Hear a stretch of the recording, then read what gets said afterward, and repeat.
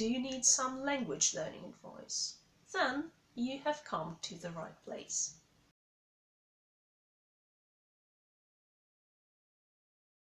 Hi, I'm Julia and this is Random English, a channel that will help you improve your language skills.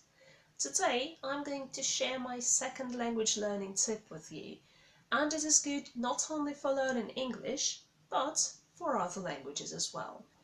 The tip is as simple as the first one and almost as effective. The tip is start small.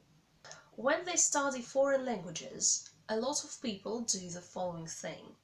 They are very motivated and they study for a long time, an hour or more, on their first day, on their second day, on their third day, and so on. But they get tired or they burn out very quickly. Soon they do not have time to study for an hour each day and they study less and less and soon stop studying completely.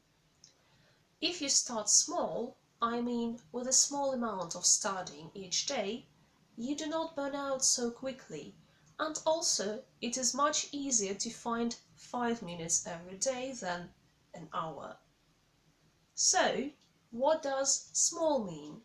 Well, it can be as small as five minutes or it can be a little bit longer. For example, if you follow this link, you can watch a very interesting video about studying for 20 minutes every day. But the important thing is to remember my first language learning tip, which is study regularly.